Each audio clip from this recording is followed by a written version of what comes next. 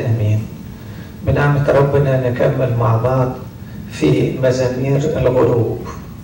وهنتكلم النهارده في مزمور 121 اللي هو مزمور رفعت عيني إلى الجبال من حيث يأتي عوني. وأنا قلت لحضراتكم ده مزمور من مزامير المصاعد.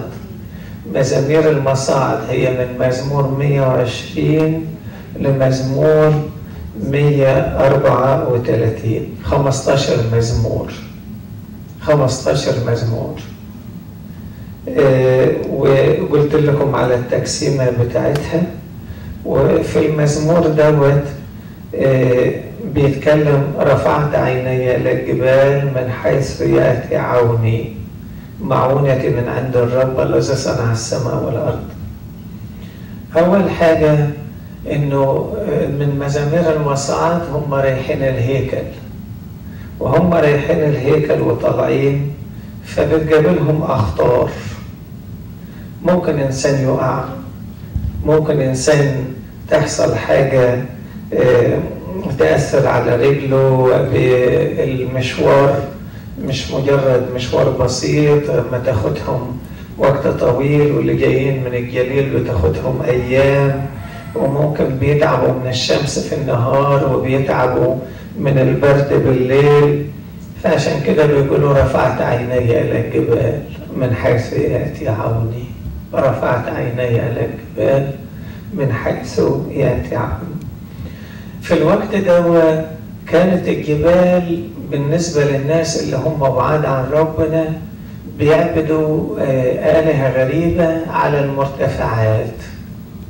فقالوا لا بس إحنا رافعين عينينا على الجبال علشان الله هيرسل لينا المعونة. رفعت عيني إلى الجبال من حيث يأتي عوني. وعشان كده محتاج الإنسان باستمرار يرفع عينيه لربنا. مش يرفع عينيه بس يرفع عينين قلبه لربنا. ويقول له أنا ملياش غيرك. ماليش ملجأ سواك. ماليش ملجأ سواك. فالإنسان بيرفع عينيه لربنا ويقول آية جميلة كده نحوك أعيننا. ومحتاج الإنسان يثبت عينه على ربنا.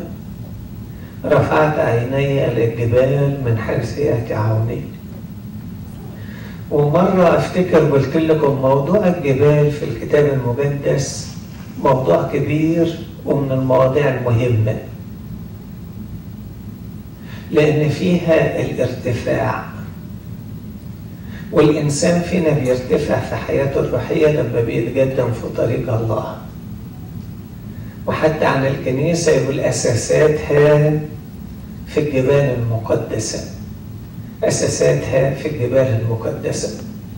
أفتكر إن أنا مرة كلمتكم عن الجبال في العهد الجديد. وقلت لكم باختصار الجبال في العهد الجديد خمسة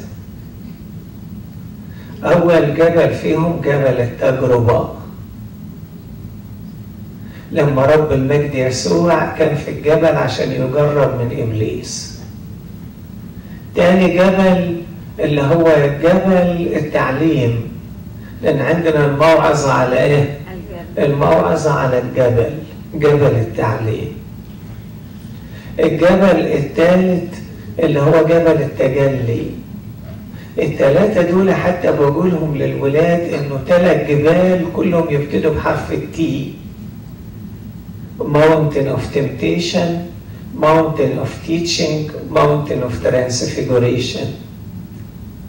جبل التجلي ده جبل طابور.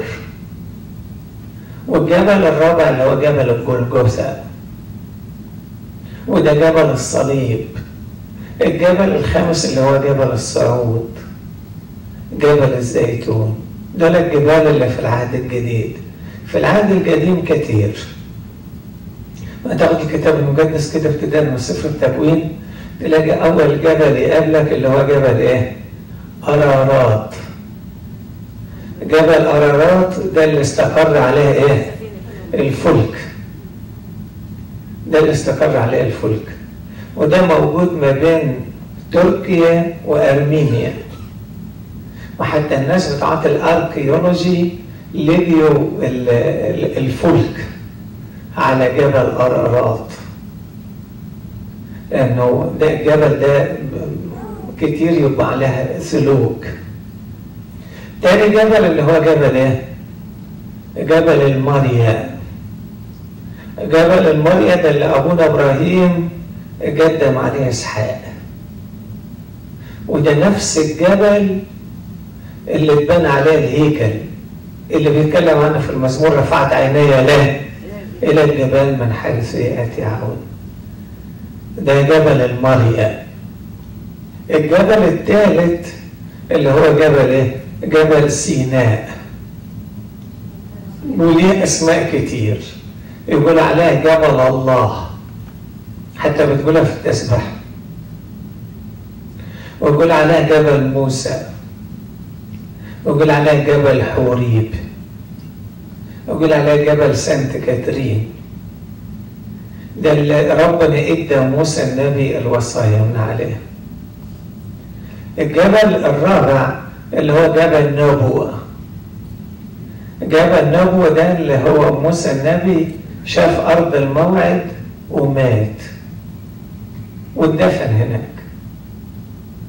في جبلين مذكورين في سفر التثنية اصحاح 27 28 ومذكورين في سفر يشوع. جبل آه جرزيم وجبل عيبال. جبل عيبال جبل اللعنات. وجبل جرزيم جبل البركات. والجبلين دول كانوا مواجهين لبعض. وقت تجسد رب المجد يسوع الجبلين دول كانوا في منطقة السامرة. والسيد المسيح له المجد لما قعد مع المرأة السامرية على البير في سخار؟ كان الجبلين حواليهم. جبل عبال وجبل جرزيم حتى لما المرأة السامرية شاورت له على الجبل وقالت له أبانا سجد على هذا الجبل. كانت بتشاور له على جبل جرزيم ولما ت... لو اتشوقت إنك تقرأ تثنية 27 28 ربنا كان بيوصي موسى النبي بيقول له قول لشعب إسرائيل لما يدخلوا أرض الموعد. إنهم فريق منهم يقف على جبل عيبال وفريق يقف على جبل جرزيم. اللي يقف على جبل عيبال يقولوا اللعنات اللي تنزل على الإنسان اللي ما يحفظش وصية ربنا ويعيش بعيد عنه. وعلى جبل جرزيم يقول على البركات اللي تحل على الإنسان اللي هو يسمع لكلام الله. دول جبل عبال وجبل إيه؟ جبل جرزيم. في جبل جلبوع. جبل جلبوع ده اللي إيه؟ اللي مات عليه شاول الملك. اللي اتقتل عليه شاول الملك. وفي جبل اسمه جبل الكرمل. جبل الكرمل اللي ده ايليا النبي إيه؟ قدم عليه الذبيحة. لما كانوا أنبياء البعل موجودين. دول باختصار شديد الجبال بتاعت العهد القديم. وآيات كتيرة خالص بقى. في سفر اشعياء يقول اصعدي على جبل عالي يا مبشرة صهيون. اصعد على جبل عالي ومبشرة صهيون. ويقول في سفر اشعياء ويقول في رسالة روميا ويقولها في سفر نحوم. ما أجمل على الجبال قدمي المبشر بالخيرات. ما أجمل على الجبال قدمي المبشر على بالخيرات. وأبانا في القرون الأولى سكنوا الجبال. سكنوا الجبال علشان ما فيش حاجة تشغلهم ولا تعطلهم عن ربنا.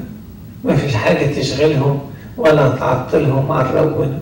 عشان كده الإنسان يقول له رفعت عيني إلى الجبال من حيث يأتي عوني فدي علشان تستفيد من المزمور ده دي رحلة مش للهيكل بس دي رحلة حياة الإنسان. لازم حياتك تبقى في صعود. لازم حياتك تبقى في تقدم.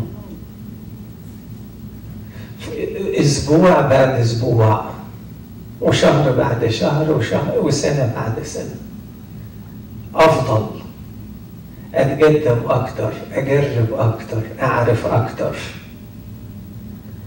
فدي رحلة حياتنا رحلة حياتنا. فبيقول رفعت عيني إلى الجبال من حيث يأتي عوني المعونة من عند ربنا. المعونة من عند ربنا. مرات الإنسان يتكل على نفسه أو مرات الإنسان يتكل على مصادر بعيدة عن الله. ما يلاقيش منها معونة. المعونة والمجد والحكمة كلها من عند ربنا. المعونة والمجد والحكمة كلها من عند ربنا.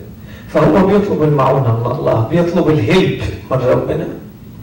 رفعت عيني إلى الجبال من حيث يأتي عوني طب إن كان الله هو المعين بتاعك هتخاف من إيه؟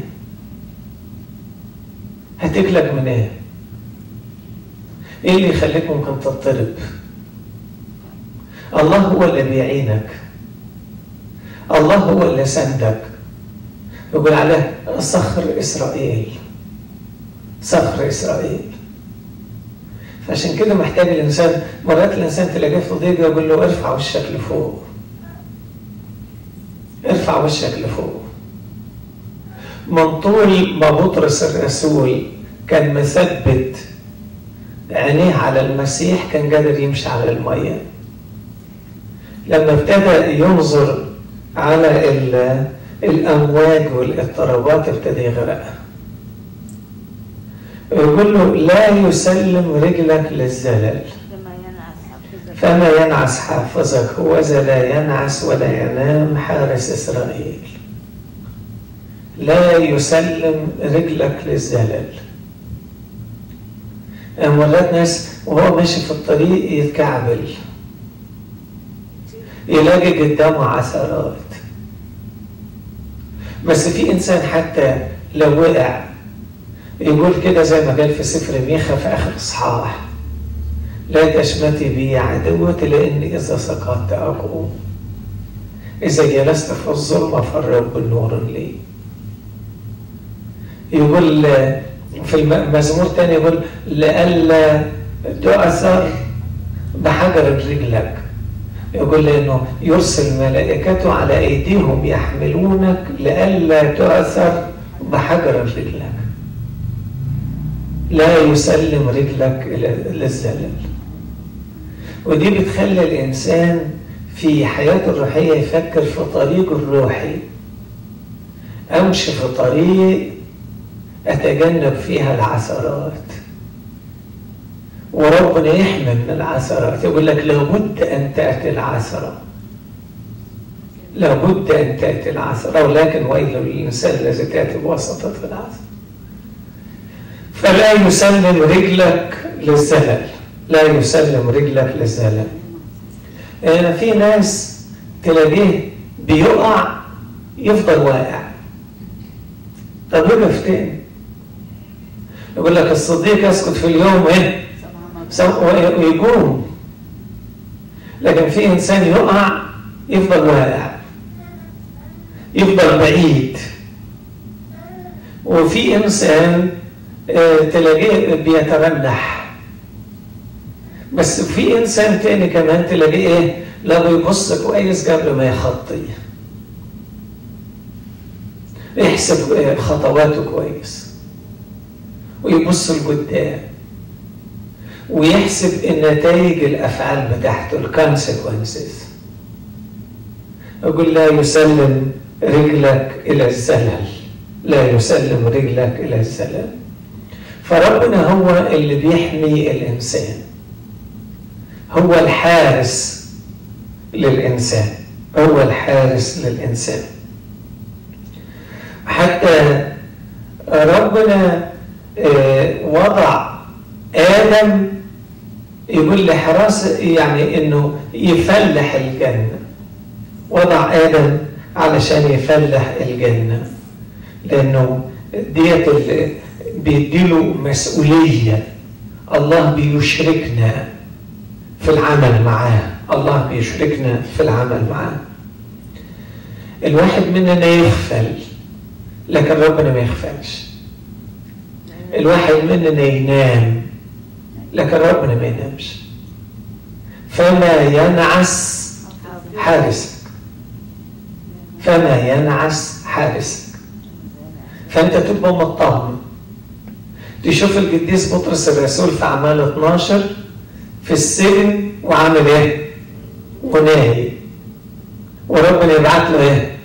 يبعت له الملاك علشان يصحيه. ربنا يبعت له الملاك عشان يصحيه. وتشوف برضه إزاي ربنا حفظ يعقوب.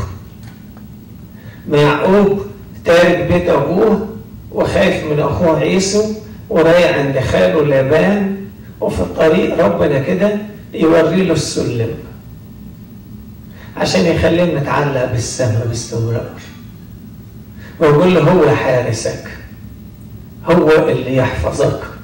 هو اللي يحفظك.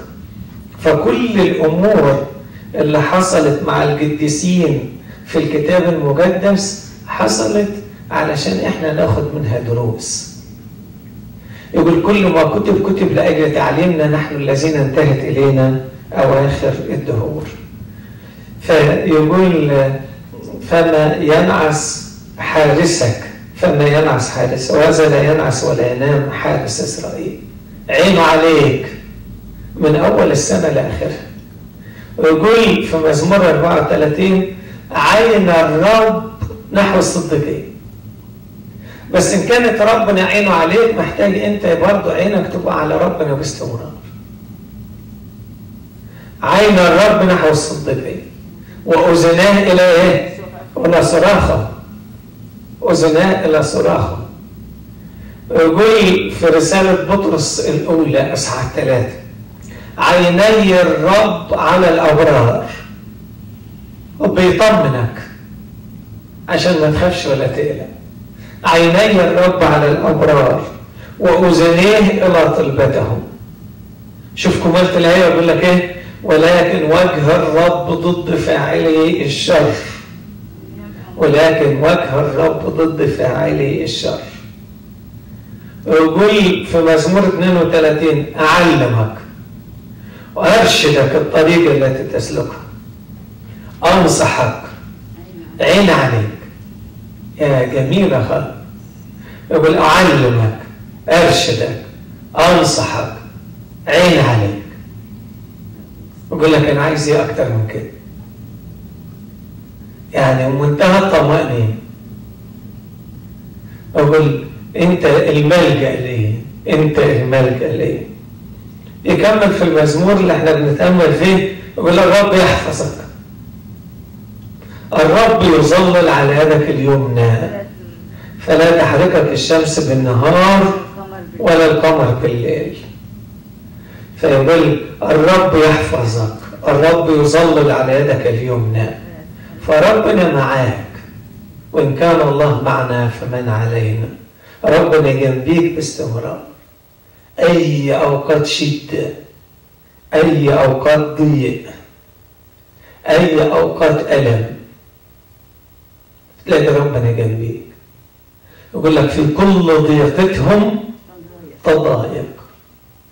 وملاك حضرته خلصهم في كل ضيقتهم تضايق وملاك حضرتهم خلصهم شوف مع داود النبي.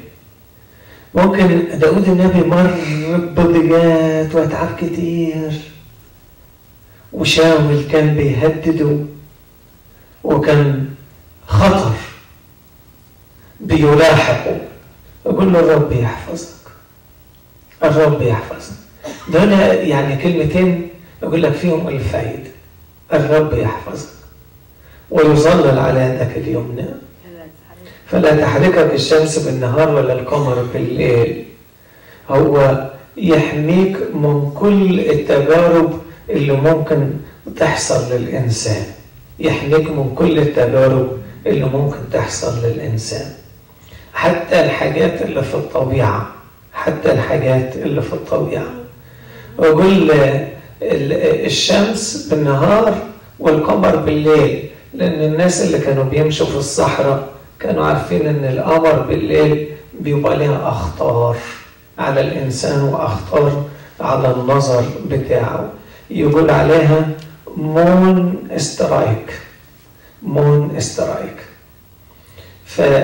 فالله هو اللي يحفظ دخولك وخروجك ويظلل عليك. يحفظ دخولك وخروجك ويظلل عليك. يعني انت تحت حمايته. عينه عليك وبيرعيك باستمرار. عينه عليك وبيرعيك باستمرار. يكمل كده برضه بيقول في المزمور الرب يحفظك من كل سوء. الرب يحفظك من كل سوء. الرب يحفظ نفسك.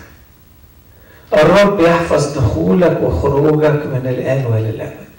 الرب يحفظ دخولك وخروجك من الآن وإلى الأبد. الرب يحفظك من كل سوء. تقول لي طيب مرات الأبرار بتحصل لهم ضيقات. تبقى بسماح من عند الله وتبقى لأجل فائدتهم تبقى لأجل فائدتهم واحتمال الإنسان يبقى تزكية. لما الإنسان يحتمل الضيقة اللي تيجي عليه يتزكى الإنسان. يعني يبقى فايدة بالنسبة له يعني ربنا هيكافئه يكافئه في الميراث السماوي. يكافئه المكافأة الأبدية. ولكن ربنا وعدك كده يقول لك الرب يحفظك من كل سوء. الرب يحفظك من كل سوء. هو حماية الإنسان الأساسية إنه ربنا ينجيه من التجربة. ينجيه من التجربة تجربة إبليس. تجربة الخطية ده موضوع الشر في الكتاب المقدس مقصود بيه أكتر من حاجة. في الشر مقصود بيه الخطية. زي ما قال كده يوسف الصديق في تكوين 39 كيف أصنع هذا؟ الشر العظيم وأخطأ أمام الله. ده الشر بمعنى الخطية. وفي شرور يعني يقول لك تجارب أمراض حوادث احتياج ضيقات مش دي اللي بتقلقنا ومش دي اللي بتخوفنا. الإنسان بيقلق وبيعمل حساب اللي هو الشر بتاع الخطية علشان كده في الصلاة الربانية في صلاة أبانا الذي بنقول له نجينا من إيه؟ من الشرير. نجينا من الشرير مش من الشر. لأن الشر مرات يقصد به اللي هي متاعب في الحياة. عشان كده حتى الترجمة بتاعت نجينا من الشرير دي في King James مش مظبوطة. يقول deliver us from evil. ولكن صححوها في New King James deliver us from the evil one. والترجمة في العربي مظبوطة. نجينا من نجينا من الشرير. لأن الكلمة في الأصل اليوناني بترجع لشخص مش بترجع لشيء كشر وحتى مرات الشباب يسألوا يقولوا طب ليه ربنا خلق الشر؟ وإحنا نرد عليهم إزاي؟ ليه ربنا خلق الشر؟ يقول لك ربنا ما خلقش الشر. تقول طب لما ربنا ما خلقش الشر طب ما الشر ده جاي منين؟ يقول لك الشر ده هو غياب الخير. وبالظبط كده تعرف موضوع النور والظلمة. ربنا ما خلقش الظلمة. الظلمة هي غياب إيه؟ غياب النور. الظلمة هي غياب النور ففي حاجة تبقى موجودة بسبب غياب حاجة يعني أنا مثلا عندي قطع في الجلابية بتاعتي قلت لكم على قبل كده يقول أنت عندك قطع في الجلابية يقول لا ده مش قطع مش مش عندي. ده حاجة إيه؟ ده حاجة غايبة من القماش. فغيبان الحاجة يقول لك عندك حاجة. وهي حاجة غايبة في الحقيقة. هي حاجة غايبة فغياب النور هو الظلمة وغياب الخير هو إيه؟ هو الشر. ولازم تبقى عارفين كلنا. الله كل الصلاح الله كل الصلاح لما مرات ناس تغلط ويقول لك إيه؟ ما أعرفش ليه ربنا عمل معايا كده. يقول يعني إيه ربنا عمل معاك كده؟ ربنا ما عملش حاجة وحش. ربنا ما عملش حاجة وحش. ده أنت ما فيش حاجة كويسة بتاخدها غير لما بتاخدها من إيه؟ من ربنا بيقولها القديس حنا المعمدان في إنجيل معلمنا يوحنا اصحاح ثلاثة لا يقدر أحد أن يأخذ شيئا إن لم يكن قد أعطي من السماء. لا يقدر أحد أن يأخذ شيئا إن لم يكن قد أعطي من السماء. ودي لازم تبقى تبقى تفكر فيها وتبقى شغلاك من ناحية إيه؟ أنت مرات تشتغل ولا تعمل حاجة معينة وتحس ان داخلك داخل كده تفكر إنك أنت يعني أنت اللي عملت هي هو في الحاجة من عند ربنا. يقول القديس يعقوب في رسالته ان كل عطية صالحة كل موهبة تامة هي إيه؟ نازلة من فوق من عند أبي الأنوار الذي ليس عنده تغيير ولا ظل دوران. كل عطية صالحة ده بيقول له لما بنيجي نصلي في صلاة الشكر يقول لك لأنك منحتنا. بيدينا زي المنحه لأنك أعطيتنا. لأنك أعطيتنا. فالله كل الصلاح. الله كل الصلاح. لو في أي إنسان صالح فهو عشان واخد الصلاح ده من عند ربنا. صلاح الله التمت مطلق. صلاح الإنسان إيه؟ نسبي. صلاح الإنسان نسبي. عشان كده الشاب الغني لما قال لرب المجد يسوع أيها المعلم الصالح ماذا أعمل لارث الحياة الأبدية؟ فرب المجد قال له إيه؟ لماذا تدعوني صالحا؟ ليس أحد صالح إلا إيه؟ إلا الله. لماذا تدعوني صالحا؟ يعني طب معناها إيه؟ يعني بيقول له أنت بتقول لي يا يا معلم الصالح بتجنني؟ بتنفقني يعني؟ ولا أنت بتقول لي عشان عارف إن أنا الله؟ لكن ربنا ما نفاش مسألة الصلاح حتى رب المجد قال قال لك الإنسان الصالح من كنز قلبه الصالح يخرج إيه؟ الصلاح وفي سفر طوبيا يقول ملاكه الصالح ملاكه الصالح يرافق الإنسان. فربنا كل الصلاح. فالرب يحفظك من كل سوء. الرب يحفظك من كل سوء. الرب يحفظ دخولك وخروجك. الرب يحفظ دخولك وخروجك. معاك في كل وقت. ومعاك في الطريق. معاك في الطريق. خد مثل لكده يوسف الصديق.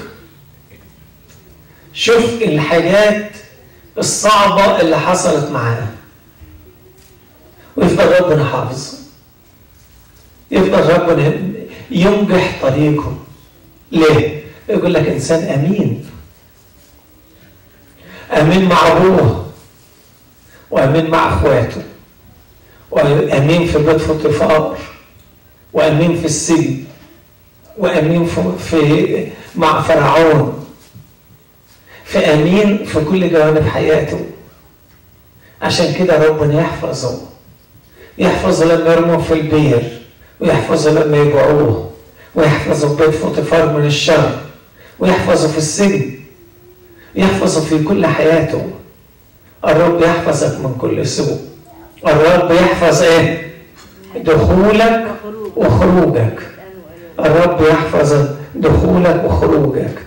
عشان كده قال يوسف الصديق لاخواته القول المشهور قال لهم أنتم أردتم بي شرا ولكن الله قصد به إيه؟ خير. عارف ساعتها الرب يحفظ دخولك وخروجك؟ يعني الله بيهتم بالتفاصيل اللي في حياتك. وانت خارج هو معاك وانت راجع هو معاك. هو رفيق الطريق حتى في التفاصيل الصغيره حتى في التفاصيل الصغيرة في كل أعمالك. هو موجود معاك. والرب يحفظ دخولك وخروجك. شعب إسرائيل كان عندهم حاجة اسمها مازوزة. إيه المازوزة دي؟ كانوا بيجيبوا جزء من سفر التثنية إصحاح ستة اللي هو بيبتدي بكلمة عندهم في العبري اسمها شمة اسمع يا إسرائيل الرب إلهك رب واحد إله واحد. تحب الرب إلهك من كل إيه؟ من كل قلبك ومن كل قوتك ومن كل قدرتك. والكلام اللي بكلمك بيه إنك تقرأ في وصية الرب في كلام الرب في دخولك وفي خروجك. وأنت موجود في البيت وانت قاعد وانت لما تيجي تنام وانت لما تقوم يقولها في اصحاح ستة يقول عليها مزوزة.